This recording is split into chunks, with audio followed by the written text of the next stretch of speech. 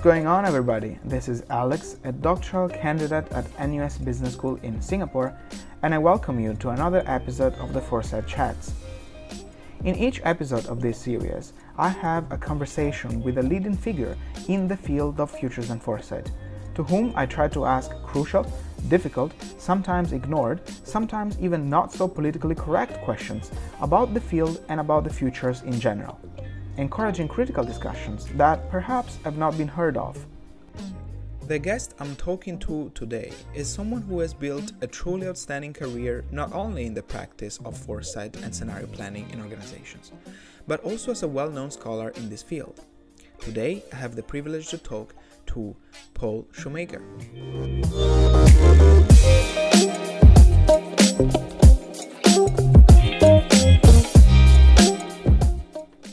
Paul Schoemaker is an expert, an entrepreneur, and an educator in the fields of strategy, innovation, and decision making. He was the founder, CEO, and chairman of Decision Strategies International, which specialized in scenario planning and strategy.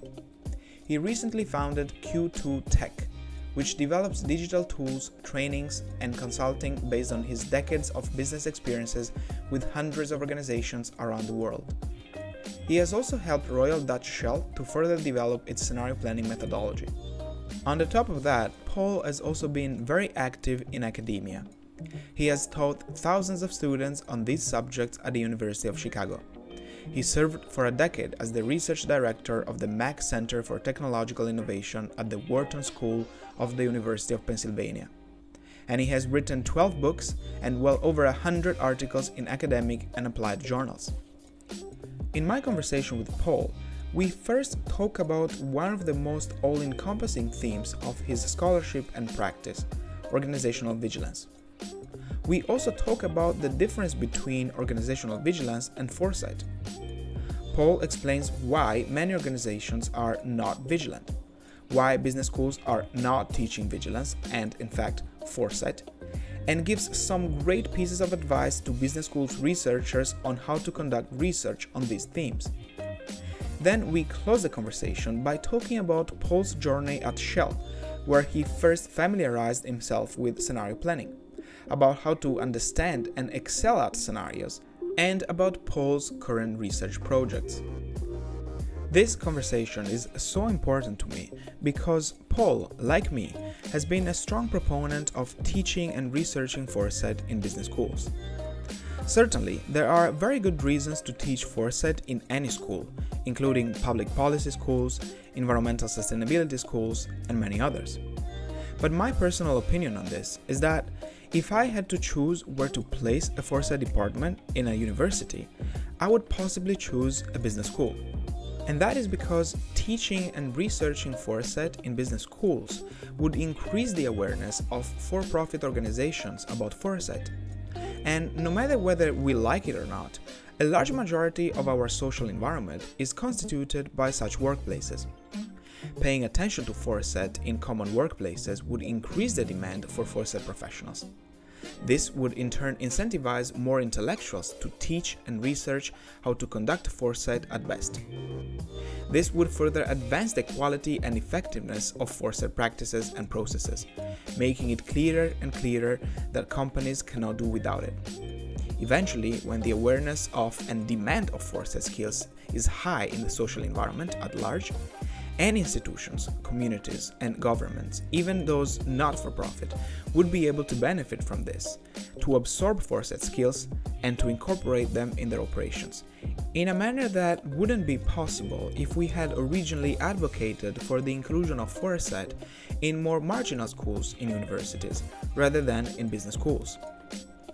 So, although my conversation with Paul was not concerned about this, it sort of was based on such a common viewpoint and built further from that.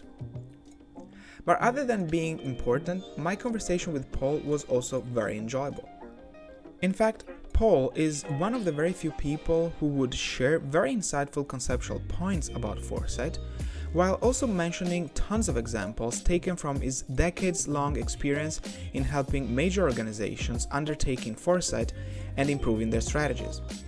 So this conversation appeals to both academics as well as consultants and practitioners who want to keep abreast of what is the cutting edge of foresight practice. So I hope you will enjoy the conversation.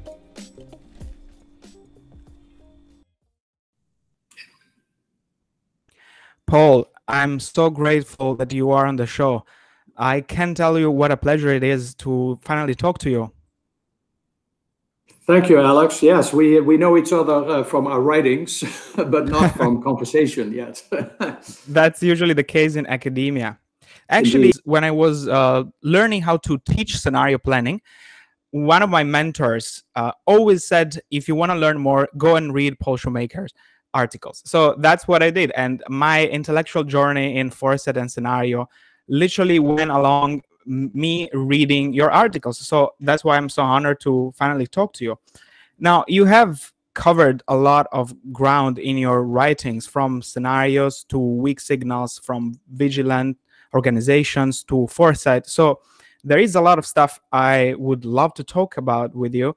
But I was thinking that we could start from the most uh, all encompassing theme, the most foundational part of it, at least to my understanding, which is organizational vigilance. And um, I was just reading uh, one of your articles published on MIT Sloan Management Review in preparation for this. And I found the definition that you gave of vigilance, which is a heightened state of awareness characterized by curiosity, alertness, and willingness to act on incomplete information. So, my first question for you would be Do you still stand for this definition? And if yes, why is vigilance so important for an organization? Well, many organizations, as you know, get blindsided. And the question is well, you cannot see everything coming because you would have to invest enormously in doing research and foresight. So a certain amount of error and not knowing the future is un- unavoidable. But if you ask many boards or C suites, um, let's look at your past. What have you missed? These could be threats, they could be opportunities. Um, they could be internal to the organization, like Volkswagen not realizing, or maybe realizing but ignoring, you know, the manipulations of their software for testing uh, exhaust uh, uh, uh pipes, etc. Um, or Wells Fargo ignoring maybe, or not seeing soon enough the leaders that is uh, opening up accounts for customers without their permission or selling insurance to them without them knowing it would not uh, work well. And then there's the external side. So most companies, if they we, we ask them to complete a matrix, how much have you missed, either internally or externally? And uh, it was more like a threat or more like an opportunity. And most people fill in multiple items for each cell of the matrix. And then I ask a very simple question Is this acceptable to you? Is this a, a good trade off between um, doing a lot of studies about what's going on uh, and not missing much versus not wasting all your time pursuing every you know weak signal because there's so many weak signals and being uh, and most would say no we have to become more vigilant many of these things and somebody knew about it in the organization but they didn't know that other people needed to know or the leaders didn't know where that knowledge resided it's really a problem oftentimes of distributed intelligence right it's rare to think i would challenge you think of one thing that happened to an organization that did not foreshadow itself in some way. In hindsight, we can always see early signals. The problem is they don't all get presented on a gold platter in combination. They arrive uh, in different forms in different parts of the enterprise uh, or the extended network of the enterprise. So if you think of an organization as having needing to have also a strategic radar, think of all the suppliers on the upstream side, all the you know uh, distributors and partners and customers on the downstream side there is an enormous amount of information, and vigilance is really about making sense of that and acting on that in real time rather than you know waiting five months before something gets analyzed. Euro Disney is a great example. When Disney opened up its uh, in Europe its theme park, they were studying where to do it in Barcelona, and they picked Paris. And they based it, of course, understandably, on the US model, which was California and Florida, and Japan. They were also developing it there. And they, they made a lot of uh, wrong assumptions, which you can blame them for. They didn't know the French culture as fully as uh, they could have, maybe should have. So they wouldn't serve wine, or they assumed that people would stand in line much longer than the, than the Europeans actually wanted to do. the Europeans didn't consume as much of the concessions during lunch. They would bring their own sandwich and ask for water. I mean, I'm Dutch, so I can make a joke about uh, about those things, uh, and you that is understandable. But then they didn't realize uh, that their assumptions were wrong till two years after they opened. Uh, whereas this information had been coming in all along, but it was piecemeal and it was distributed throughout the enterprise. And of course, Disney almost went bankrupt. There was a real financing issue, and we, financed. So it is this phenomenon, I think that's why vigilance is important. And the definition you sort of mentioned about being mindful, this concept of mindfulness, Ellen Langer has been studying this, is a, is a very uh, au courant notion. People find this an intriguing concept that we are not sufficient in the moment sometimes to really see what's happening left and right. And at the same time, have an eye on the future. And that's what makes all this so difficult. Well, it seems that it is a, a kind of mindfulness that is distributed in an organization. Can we say that? Yes. Uh, when you talk about vigilance, the first thing that comes to my mind is preparedness as well, right? Because it's very related to finding weak signals and emerging issues of change and possibly also discontinuities in order to be prepared. So the preparedness, preparedness aspect is uh, what to me is very salient. Uh, but then I'm thinking, what is the difference between this vigilance and what we say is more about looking at the futures in the larger perspective of foresight, right? So, what is the difference? What would be the difference then between vigilance and foresight? Is one conducive to the other? Which I, I guess that's where you're trying to go. Yes, they linked, but they're not the same. Well, foresight, by definition, has a future orientation, right? I mean, we're talking about forecasting and casting forward the momentum of the present, which really is fueled by the past. Uh, vigilance need not have that notion. You could be hmm. vigilant mm. about right now as I look around me here. Uh, am I vigilant? Am I aware of what's happening right now, time you know t zero? now, vigilance also means uh, being aware of what's coming around the corner. So it has both of those connotations. Um, to do foresight well, you need to have some sense of, you have to be good at vigilance.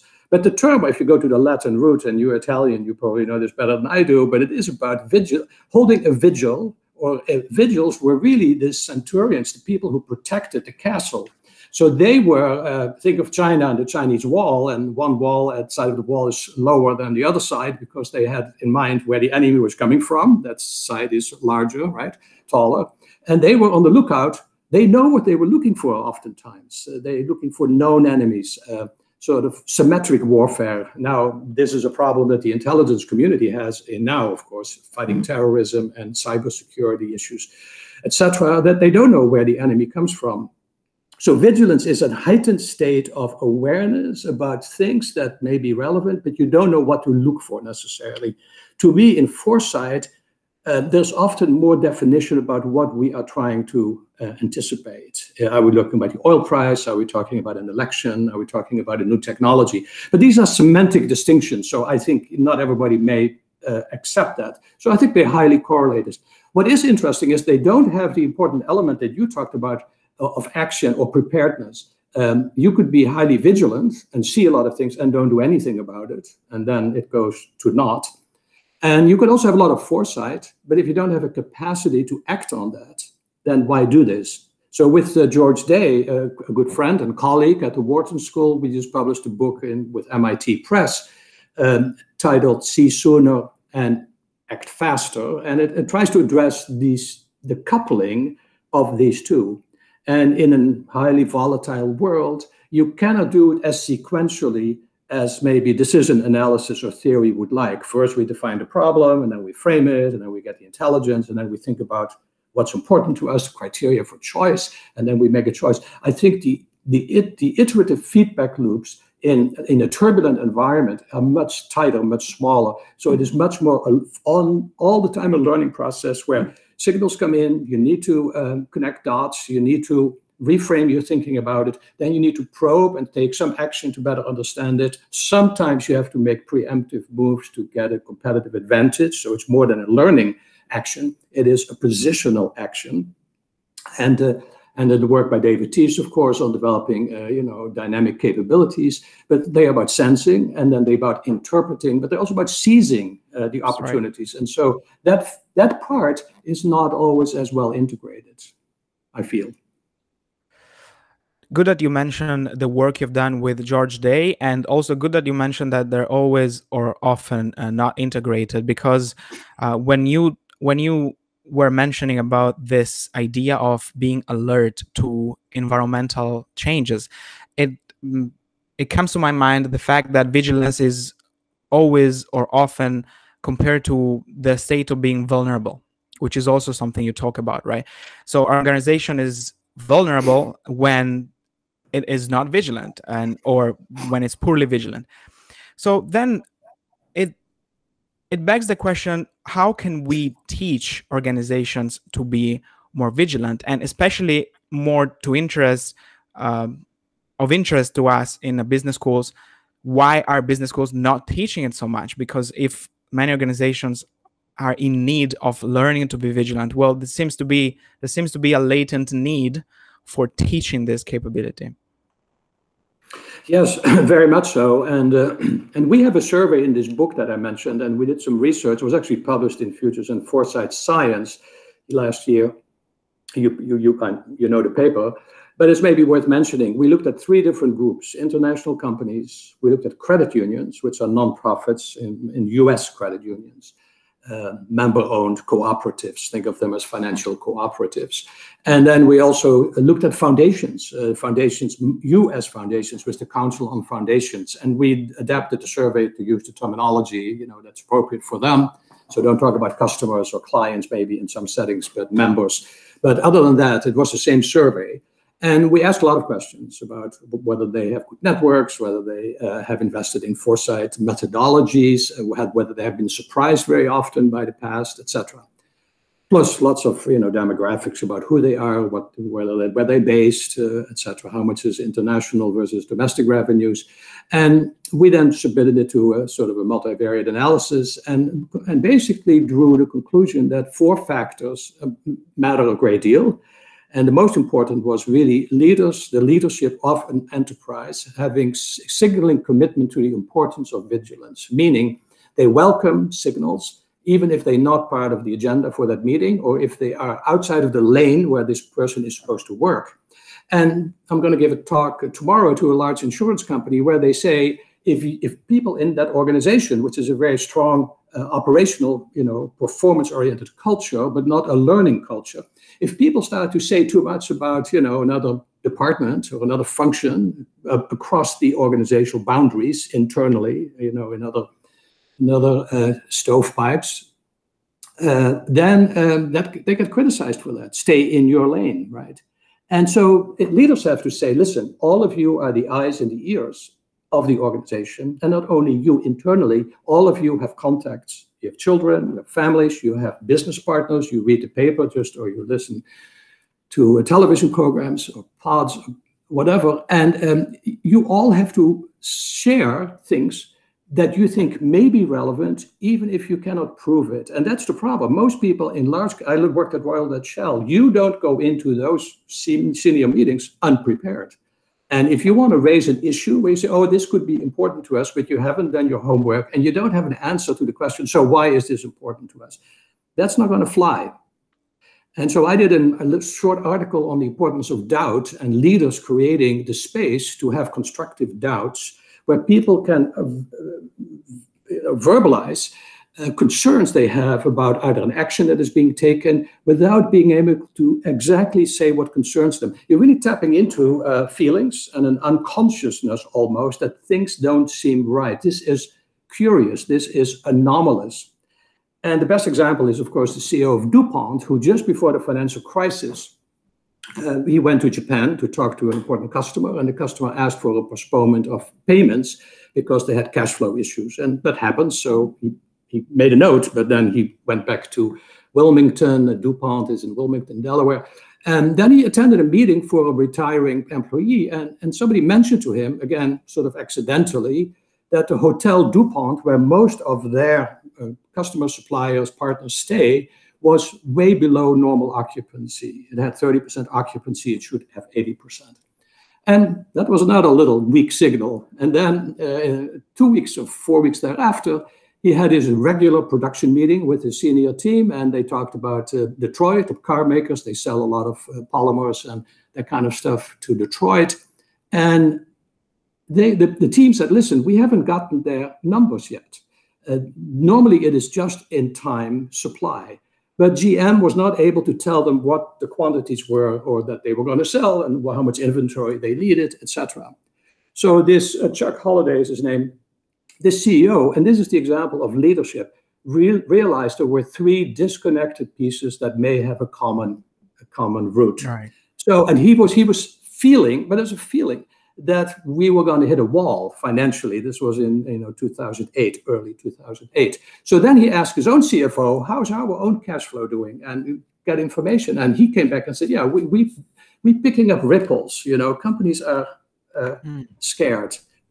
And then, and this is the courage of leadership, then without having complete information, without being able to prove the case to you, if you were his doctoral, if you were doing a dissertation, you wouldn't accept this case. It doesn't, it's not beyond reasonable doubt. It's not even that the preponderance of evidence, to use legal terms, uh, are overwhelming.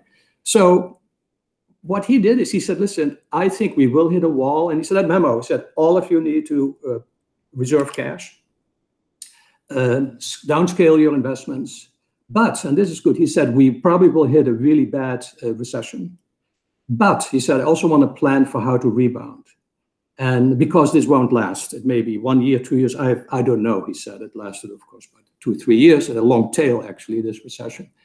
Um, and that, that is unusual. If you look at the COVID crisis, for example, where a lot of weak signals came and we were generally late in picking, detecting what really was going on, but very few uh, companies uh, had good, uh, you know, rebounding plans. Some do, and George and I wrote a few articles about the role of boards and C-suites in um, sort of what uh, Nietzsche said, what what what doesn't kill you should make you stronger, or, or what Taleb talks about in anti-fragility. Do you have an organization that if it gets hit and it gets surprised, that it actually gets stronger after that. Just like the human body, if it survives, you know, infection, it will be stronger. Most organizations don't have that those capabilities. And that's part of vigilance as well. It's not just the anticipation, it's also how you process it and how you bounce back and learn from each challenge. Well, the key is finding the state of vigilance or non-vigilance when it's early enough, right? So I think your uh, surveys in this regard are good diagnostics, uh, especially before such things happen. Yeah. Well, and let me just, if I may, just finish the story because of four factors. So I mentioned yes. leadership commitment. That was the number one variable that got the most, explained most of the variance. The second one was investments in foresight. So we asked companies, do you do scenario planning? Do you do real options analysis? Do you have strategic radars? How well do you integrate this? and that was weak. Many companies don't do much and don't use artificial intelligence. You, you, can be quite sophisticated there. And then the, there were two other variables that were important, but they were in the sense that you these are necessary conditions, but not really sufficient conditions. And one had to do with the strategic planning process. Do you have a strategic planning process that respects and surfaces uncertainty, that can handle uncertainty? Or do you put it under the rug and ask people to make point estimates of sales when it's very uncertain? So they, at a minimum, should be given ranges, not point estimates.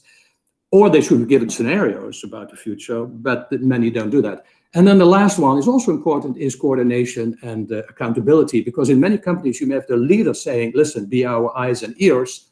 But we worked with one, I can mention the name of the company, but a leading company in sort of a the healthcare technology space. And the people said, yeah, we pick up a lot of signals and we give it then to our senior leaders and we never hear anything back.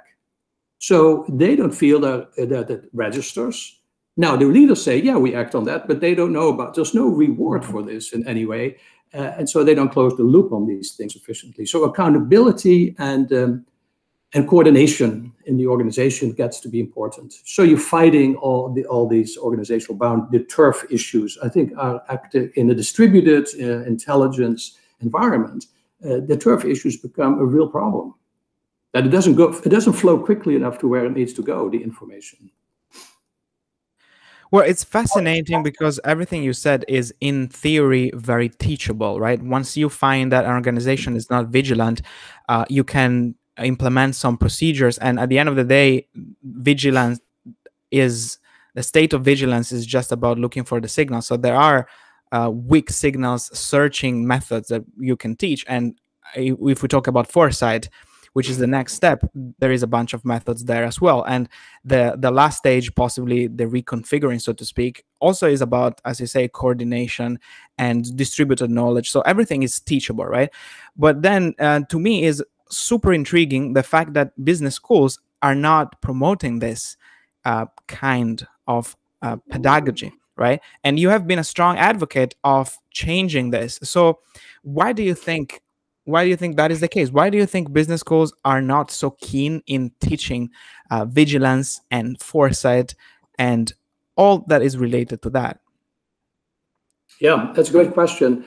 So, as you know, I did an article in 2008 in the California Management Review about uh, the paradigm of business education and research perhaps needing to change. And it was based, by the way, on work I did at Wharton. I was then the research director of an institute called the Mack Institute for Emerging Technologies and Innovation. And we deliberately studied cases where there is a great deal of ambiguity, emerging technologies. And, and we looked at established companies mostly. How well do they integrate? And most of these companies say, we don't know what to do with emerging technologies. It could be blockchain or it could, you know, whatever it happens to be, Bitcoin. I mean, take some of these things that are out there and who knows whether should they do anything with that. Um, and in that article, I sort of looked at, and there's many other people who talked about this issue that if you you have to sort of look at the history of how business schools arose, right? They were really vocational training schools in the 1950s and 60s, and then there were scathing critiques by several foundations uh, that uh, this was not really uh, deserving of being taught in the university. It was not science based. It was not discipline based. And so four schools got a lot of funding to make it more rigorous. And then it became a very disciplined based field. So in business schools, you have to pick your concentration, your majors, you're in a department. And I've been in multiple business schools as a faculty member, and you don't really deal much with the other departments. Now, I was at the University of Chicago, which is small, and cleverly the dean's office put all the mailboxes in the same room. At Wharton, you couldn't do that because it's a huge institution.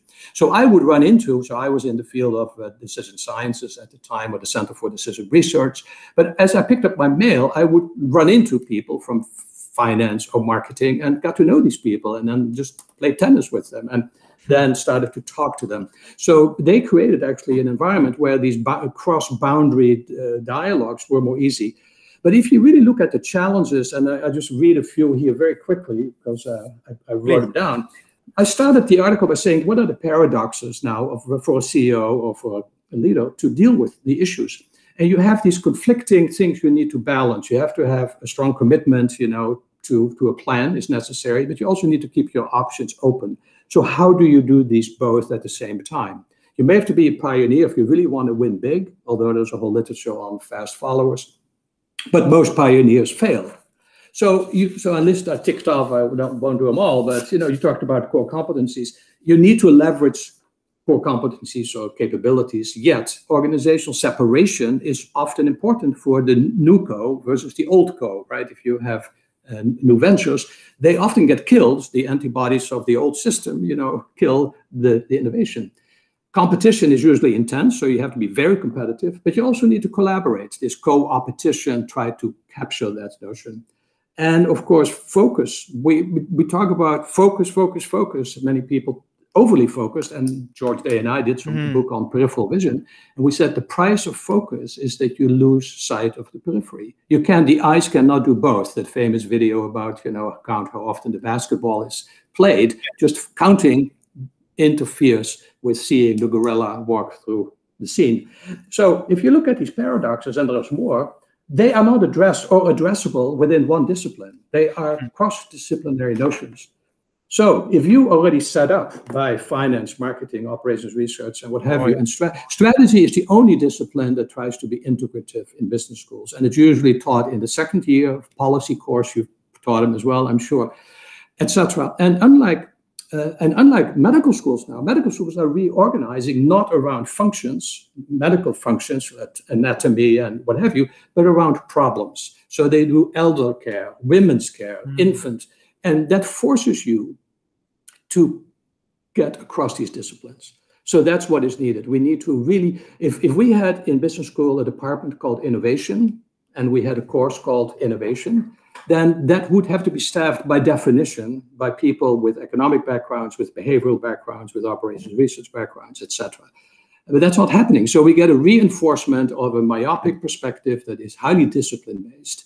And if you just look at the reward system, the highest paid faculty in America, I don't know if it's in Singapore, highest paid faculty are finance faculty, followed by accounting faculty, and you wonder why. And the reason is it's physics envy. I was trained, I started in physics, and then I, when I did my bachelor's, moved into finance actually at Wharton and then operations research. So I came out of a quantitative you know, tradition. But there is definite physics envy. If you don't make these papers, and I did a lot of them myself, yeah. quantitative and rigorous and grounded in one discipline, then you're not playing the game that gets you promoted. Yeah, it is a, a, a issue of incentive for sure. Uh, it is also an issue of siloed disciplines. Uh, and that makes it very clear that from an administrative perspective, it would be good to create departments from scratch that are more multidisciplinary, if not transdisciplinary in nature, in order to tackle these issues in modern organizations. But then that is for policy administrators, right? School administrators. So, how about for regular researchers? No, no, no, no maybe, maybe, uh, allow me, uh, Alessandro, just to make a point there. You, we are not going to put get the borders down of departments, right? The, the tenured faculty control basically these departments. You can create centers and institutes that are matrix organizations that cut across. And so what we did at Wharton, we created, thanks to uh, a benefactor, Bill Mack, uh, who gave us 40 million and then another 40 million. So we could create a center where we fund research and and and and uh, and not only that, had multidisciplinary faculty leaders on the board of the center, and um, also get students in the MBA program involved with the members, uh, the companies that are members of that center or that institute, in order to tackle their issues. This was totally and very interdisciplinary exercise. So the, the, the and at Wharton, take that example, there was about 20 centers, research centers.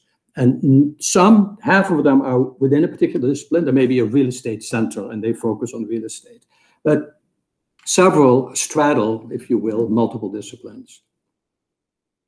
Understood. So without possibly dismantling other uh, departments, yes. for sure. Yeah, absolutely.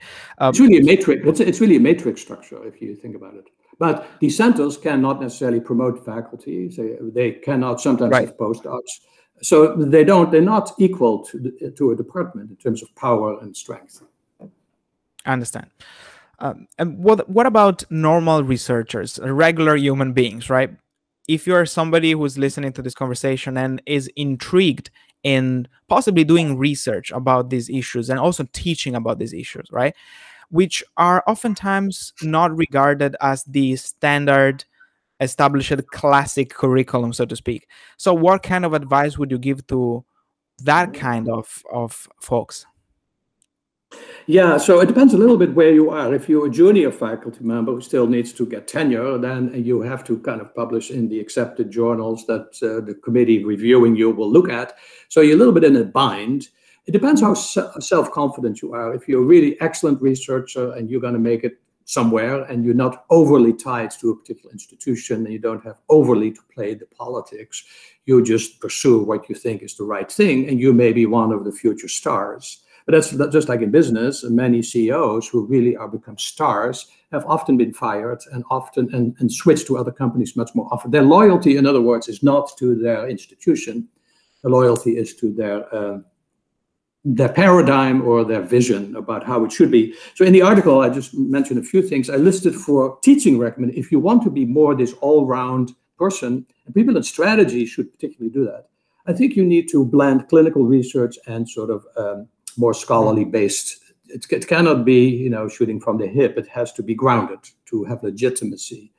I think you need to develop a more problem-centered approach, which is what the case method does, you know, as Harvard does it Uh, and you need to bring in then speakers from industry and government, if you like, to enrich the content. Because if you have, and the cases shouldn't be historical cases so much. That's the problem with the case method. When I did my MBA, we did a lot of cases, but the world was more stable. But now, if you take a case that is 10 years old, it doesn't have the most recent, it doesn't have social media in it sufficiently. It hasn't, so it looks, depends on the case, but it often looks to be uh, out of touch with current realities the, the fun part of looking at problems right now, real problems. If you're in organization theory, you say, okay, what should leaders who are, let's say, Caucasian say about the Black Lives Matter movement? Uh, because I, that's that's an issue they struggle with. I got several calls from people saying our leaders want to support this, they want equal rights and you know civil rights, but they don't know how to address this subject. They feel it's a mine minefield. If they say one word wrong or one thing wrong, they are hurt. So how do people who, who do ethics, who do um, organization theory, who do strategy, who do um, human resources, how do you tackle that problem? You can be silent. Silence is consent for the past, hmm. and, and that's not right. Uh, you don't have to be Martin Luther King and, and be a, you know, a revolutionary who changes the world, but you have to acknowledge the legitimacy of the issues and address how this organization is supportive of it. Now, that's not a simple problem because it involves lots of different things. It, it cuts across disciplines. So tackling uh, real world issues, I think, is important. Make students co-creators of the educational process. Mm. So don't lecture, don't speak so much just from the top down. Assume that bottom up. And I've learned that the hard way. I've taught a lot of cases. I was amazed having taught a case maybe 50 times that still there are new perspectives the, the 51st wow. time that come out now, you would think by then, and, and, of course the Harvard faculty is very good at this, they will study all these cases and look at all the angles, almost have a decision tree, what could happen, and they make sure that the discussion goes to the point that they want to make. But is that really co-creation or is that being a conductor of an orchestra? And now and then you give the trumpets, you know, opportunity, improvisational orchestra, I should say. And that's how they, in a sense, control the, the direction. Anyway, so that's on the teaching side. On research, it's more complicated because mm. we are not set up unless you can get your own funding and get field research and you have a five-year time frame. You cannot tackle the bigger issues. You will end up carving out small things that tend to be incremental, uh, maybe, uh, etc. And it's just that's the safe route. But ideally, you you ally yourself with people who do have some funding, senior faculty, that is by its nature interdisciplinary. So again, in the Wharton case, the Mack Institute would fund junior faculty members who come out of accounting or, as I said, some of the other disciplines, but to look over their over the uh, boundaries of their field.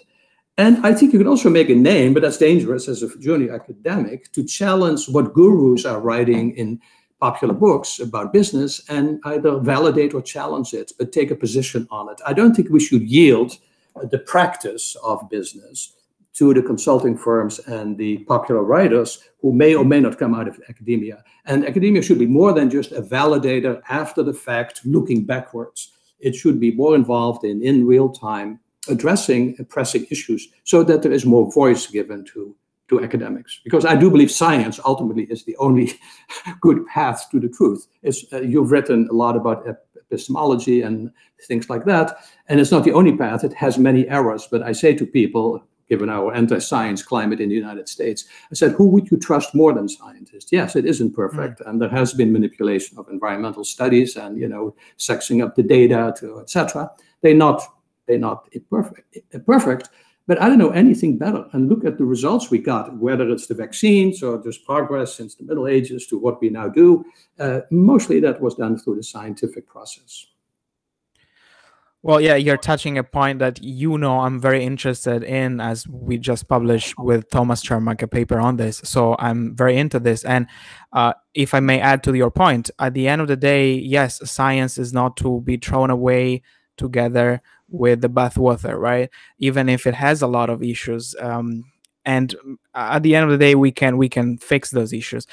But so uh, to me, and that's a great also... paper. But uh, let me say that's a great paper you wrote, and I have a commentary on it. I've seen it yet, but anyway. Yes, and thank paper. you for the commentary. Actually, the commentary also uh, was pointing to what I was what I was trying to say, which is, to me, it is also about trying to use the scientific method to prove the validity of the uh, vigilant uh, of vigilance vigilant capabilities and foresight capabilities in an organization. And this is something you have done quite well, actually, as you have demonstrated in your commentary, because I, I remember that you mentioned some of your work in, in this space. Uh, and just to mention one, I remember you did a study for SMJ, published on SMJ, where you proved that scenario planning can widen the confidence of um, individuals who are exposed to it right? So those yeah. those things are actually uh, i believe a good way to somehow uh, embed the research on vigilance and foresight which are very complex issues into a business school paradigm using the scientific method to simply prove their outcomes. So you have been um, definitely an example on that. And since we're talking about scenarios uh, and uh, research on scenarios uh, I, I would like to move on to that theme as well because to me you are one of the major um, proponent of a, a rigorous and uh, very well conceptual, conceptualized scenario planning approach. So I I just want to ask you. I'm gonna assume that the audience has a familiarity with scenario planning. How can we master scenarios? I'm gonna just go that step further and ask you a more complex question. How can we be good at scenarios? What are the key issues that you have learned over the years to yeah, be a that's a great master? question. Yeah. Uh, just briefly, I learned about scenario planning from Royal Dutch Shell. I have to give credit. I was doing research on behavioral, sort of Kahneman and Tversky kind of research, biases, heuristics, and that kind of stuff at, at the University of Chicago. And I took a sabbatical just after being promoted to associate professor. I figured I should take a little bit of risk here and, and I got an invitation from Shell to visit on my next visit. I'd read one of my books about uh, managing risk. And uh, I met Pierre Wack, who was about to retire three years later. And he was the uh, champion, really, with Ted Newland of scenario planning at Shell. He's a French economist who was really operating in different spheres. He was in touch with, you know, uh, he would take his vacations uh, with more primitive tribes in Indonesia to get out of the bubble of Shell and the oil industry. So he was a very fascinating person. And what he was good at, he said, we have to tell different stories and we have to challenge people's mental models. So at Shell, scenario plan, that's where I learned it. And then I moved uh, somewhat further in a different direction after I left. I was there for two years. So, because I asked, I asked your question to Pierre Wack. I said, Pierre, uh, could you tell me in, in, in, brief what is scenario planning? He said, Paul, I can give you the elevator speech, right? But if you really want to know, you have to join us for two years.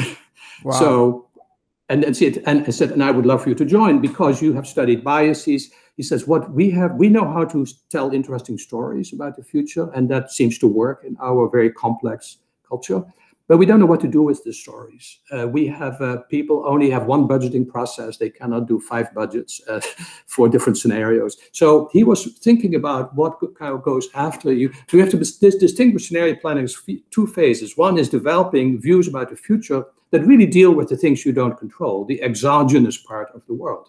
And then you move to the part that you do control, the endogenous part, namely your strategy.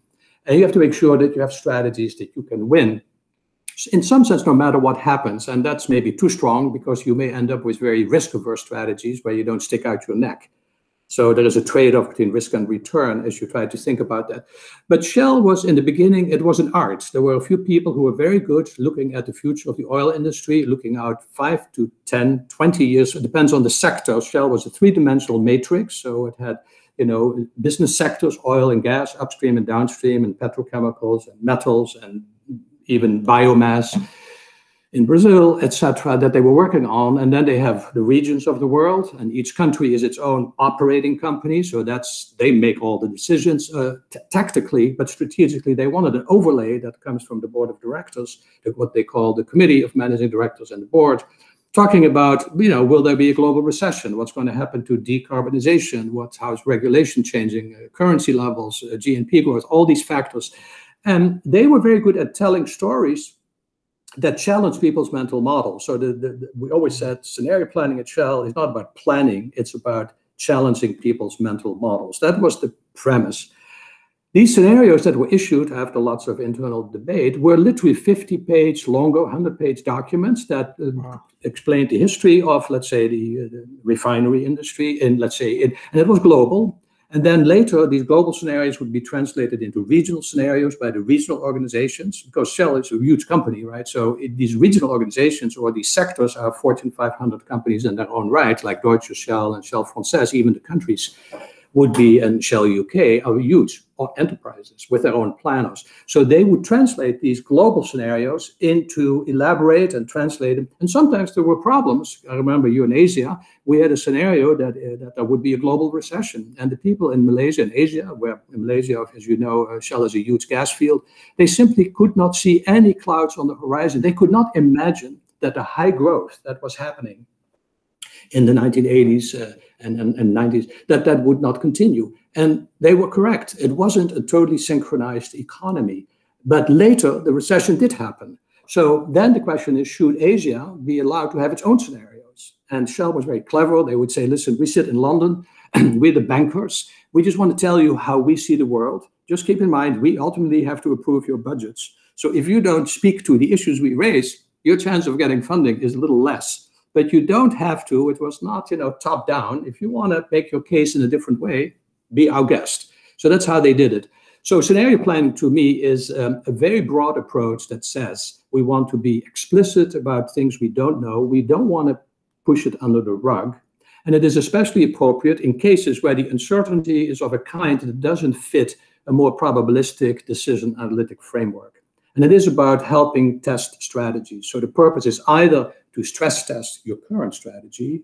How would this hold up under this future narrative? And Kees van der Heijden, who I worked a lot with at Shell, mostly with him actually, we wrote some articles about the Shell approach. Uh, he wrote a very interesting book uh, and some and one other book as well about that the purpose is really to enhance the caliber of the strategic conversations. That's scenario planning is ultimately about the quality of the ensuing conversations. And as you know, to have deep dialogue, excuse me, in an in an organization, that is not easy to orchestrate. You need uh, mutual trust and and you need mutual respect. So people who don't respect each other are not going to have deep dialogue. I mean, so if if if the upstream sector looks down on the marketing function of, let's say, um, and there was a little bit the case that upstream in oil companies in general, they're the kings, right? The People who find the oil and uh, bring it to the surface. The rest is all kind of playing in a good hand later, you know, playing it out.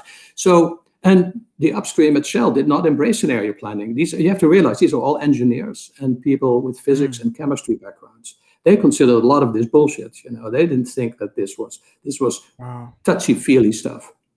Right. Luckily, the board of directors endorsed it and, uh, and Arie de Geus, who was the head of strategic planning when I was there, who wrote a very interesting book himself about the living corporation and the need to create learning cultures, he's, he recognized that scenarios, qualitative narratives are not enough. You need to quantify what the consequences of that scenario are for things that go into the decisions these people have to make. So at the end of these typical Shell reports in the past, when I was there and later as well, there was appendices that said if scenario A, so they would basically say the oil prices would could be in this band, or currency rates could be in this band, or GDP. And there were literally managers who were not intellectually curious about the future for on a deeper level. They would simply skip the scenarios, go to the appendices. Mm-hmm. Look at the ranges on oil prices, put that into their NPV analyses, right? And that's how they used it. But that was an impoverished use of scenarios. Yeah, it's very interesting that you mentioned that uh, they just use the range of values produced by the scenarios because to me that is an an indication of the oftentimes uh, misunderstood nature of the use of scenarios. And I, I'm glad you mentioned that they are for they they are meant to create a dialogue in an organization and to enhance the mental models because oftentimes uh, unfortunately i believe that scenarios are just seen as an extended prediction right and the fact that you just mentioned that they were used as um, the, the, the output of them were just used to to be prepared for the future and that's it rather than uh, stimulating the dialogue. It to me is another signal of of this issue. So I'm glad that you mentioned that. Now, Paul, I I noticed that our time together is uh, approaching the end. So i'm i want to be conscious of your time. I, let me ask you just uh, one more question. What are you up to at the moment? Uh, what what is uh, keeping you awake at night in the space of of your research and, and teaching and consulting? What is exciting you uh, and what are you working on? Well thanks for asking. So the topic of uncertainty and complexity is very uh, still um, on my mind and uh, I tend to work with other people not in my discipline. So I try to practice what we just talked about. For example, with Phil Tetlock, who is a um, social psychologist oh, yeah. and a political scientist, he's really well known. He did a great article just now about how the intelligence community in the United States, and he's worked a lot with them, with uh, IARPA, uh, how they need to change their approach to understanding what North Korea is maybe doing with the, with the nuclear threat, etc.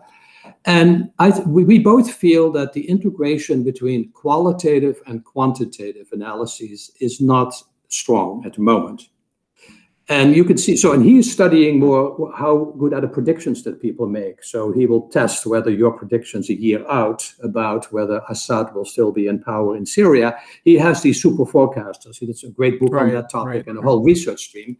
And he realizes that when the scenarios are out 10 years, 15, 20 years, how do you couple that? And can you even put probabilities? Those, of course, very epistemological questions. Is it meaningful to put a probability mm. on a scenario when the scenario is not really well defined? It's not, you know, you, you need a really clear outcome space. If you think of rolling the die or cards, you need to know what are the possible outcomes, and they are underspecified. So you have an underspecified model.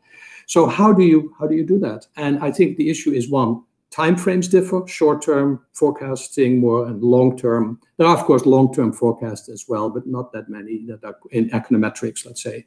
They don't go out 20, 30, 50 years. There are people who do Kondratiev cycles, that may be 50-year cycles, but that that's not really by econometric standards. It doesn't cut, you know, cut what what they would expect scenarios that can be very long term. I've the longest I've done 40 year scenarios on you know forestry where it takes a forest 40 years to recycle, especially where you are in Malaysia. They go much faster than they do in Finland. Mm. These forests twice as fast. So um, I think the integration of those two. So quant qual we call it, and I did a book, uh, just in closing, I did a book on profiting from uncertainty where I put a, right. spectrum of knowledge out. And I say we, we can study cases of certainty, like linear programming problems or inventory problems, cases of risk, sort of the whole multi-attribute utility space, and you know what, what is what's known as managerial economics at Harvard, where Howard Raiffa and other people did a lot of good work. Then you're getting the case of um, uncertainty, where you don't really know the probability. So in the earlier cases, you have to know what the problem are problem is you have to know the solution possibilities and you have sufficient estimates quantitatively of probabilities and outcomes and these are crisp. In uncertainty you don't have that. The probabilities are not crisp. So flipping a coin that is not fair that has been weighted and you know with a tape on it or something that becomes difficult to put probabilities on without having flipped it and then we get into ambiguity where you know, know, neither the outcome space nor the probabilities. And then you get to the far right of the spectrum, which I called ignorance or uh, um, you know, extreme complexity. And the problem, I think, in this whole topic is that we have mostly operated in business schools, in teaching, and in research on the spectrum of certainty, risk, and maybe uncertainty, not the spectrum where we. So, and that's where we can know a lot and do know a lot, and the tools are quantitatively um, solid. If we go to that side of the spectrum where we're dealing with ignorance and ambiguity and um, epistemic uncertainty, that we even don't know what we don't know at a deep level, then I think does this fit business schools? Academics are experts. They want to talk about things they know. They don't want to talk a lot about things they don't know. But it is a very, uh, when I was in England, there was a wonderful encyclopedia published called the Encyclopedia of Ignorance. And they asked Nobel laureate scientist in physics, chemistry, what is it that you don't know in your discipline that you hope at some point you will know? Hmm. That is such a wonderful entree into the subject of uncertainty. That's what we ask companies. Crystal ball question What would you like to know if you could only ask three questions? And that is such a different starting point for a dialogue than talking about all the things we should be doing or what we're good at or the SWOT analysis that just emphasizes too much the status quo and not the things we really don't know. So I would like to, and uh, Phil and I are working on this, we like to integrate these two better. And that is that's tough. Shell never really managed to really link these scenarios to the whole budgeting and, and, and CapEx, the capital expenditure process and all of that. They, they didn't want to, so if you have four scenarios, you should really do four plans and ask how much is common and not common between these ones. And then you do your budgets and you have to maybe do four budgets. But if you even get, and that's why I did that experiment on ranges, if you simply use scenario planning to get people to the point where they don't make point estimates anymore of, you know, revenue or costs uh, or market share or things like that, but they give ranges on it and define them as 90% confidence ranges or 50% confidence ranges, depends on what your setting is, what you would do, or entire probability distributions. You already have made enormous progress in acknowledging uncertainty. So the point is not giving probabilities to scenarios, but uh, ranges of probabilities. And um, well, eventually right? downstream, well, you have to link the scenarios to decisions. So initially, okay. it is what could happen. Then you formulate strategies these strategies need to take into account competitor analysis and your own competencies, and these strategies lead to plans. These plans lead to budgets, and it is at that level of the plans okay. that you can go back to decision trees and look at option value that is embedded in your in your strategy. That's but quantitative. Can, That's, no, I understand that that part. That's uh, very intriguing. I mean, but do you give a quantitative value to the scenario as a whole, or no? Uh, uh, no, because it is no, because you could. So, okay, suppose Cannot, you have four right. scenarios for the future: recession, no recession, and you mm. know, uh, geopolitical conflict with China or war with China. Yes or no? Suppose you do two by two like that. Mm. Uh, this First of all, you haven't fully specified what the events are, so you couldn't put a probability on that. Right. You could talk in terms of more likely, less likely, but if you if you really give the probabilities to four scenarios, these four scenarios are just four quadrants in a matrix, and there's many other uncertainties. So at best, they the sum of their probabilities is probably less than one percent. And it should be the point to give probabilities, has not, right? been, has not been has not been articulated yet. Yes, no, I, I understand that. That's why I, I ask. So you're giving probabilities to issues that can be um, can be the consequence of scenarios. Am I am I understanding it right? More yes, specific. correct. Yes. Okay. You we, we're giving probabilities to events that are derived from the scenarios right. that are relevant in a particular project that is being analyzed from a cost benefit viewpoint, such as yeah. the demand the demand being high or low for a product that could be driven. But you have, as you well know, there's a very complex causal chain, influence mm. diagrams that go from the scenario then to what are the relevant. I mean, all projects come down to revenue, cost, competitor behavior, regulatory effects. So you need to translate a scenario back to those parameters which drive the NPV of a project. Mm. That's a cascade, right? So in my book, Profiting from Uncertainty, I would lay out that this is a cascade that goes through five levels before you get to that point. Understood. Uh, is this going to be an article or a book you're writing with? Uh, I think an article. I've, All right. I've just finished two books in the last two years, so that's maybe a little bit much. Taking a rest. well, super looking forward to read that. Is this the first time you write with uh, Philip Tetlock? No, we did uh, three articles. In fact, one is about taboos. How do you develop? Oh, the taboos. You wrote it with Philip. That's right. That, that's a yeah. That's a and we did an article in the Harvard Business Review on super forecasting that I think was okay. also uh, very interesting. And we did one in the uh, in in actually uh, the Sloan Management Review on creating an intelligent enterprise, sort of with an AI lens. What is what does it take to really foster intelligence in the forecasting and um, strategic planning sense in an, in an organization. So I've done three, I think, yeah. All right. Well, I really look forward to the next one. And uh, I'll try my best to link all the articles we have mentioned in this chat here uh, in the description box down below for those who are interested. And uh, I particularly recommend uh, Paul' last book, uh, See Sooner, Act Faster, right? That, with George Day. With, with, with George, George Day. Day which which yes. treats a lot of the stuff we've been talking about, especially in terms of vigilance. So I'm gonna post it. I'm, I'm gonna paste it uh, just at uh, at the top of the list. And that Thanks being said, absolutely. Well, I I thank you uh, immensely, Paul, for the conversation. I, I enjoyed that a lot, and uh, I especially enjoy the, the the examples that you bring to the table because oftentimes it is so difficult to understand these issues in an abstract manner. But you have so many examples from practice, so it's just extremely pleasant to to hear uh, about your conceptualization of this field and to read your book as well. So great talking to you, and uh, thanks again for your time. Thank you, Alex or Alessandro. Really, I enjoyed it as well. You have very good questions. Take care. Bye bye. Bye now.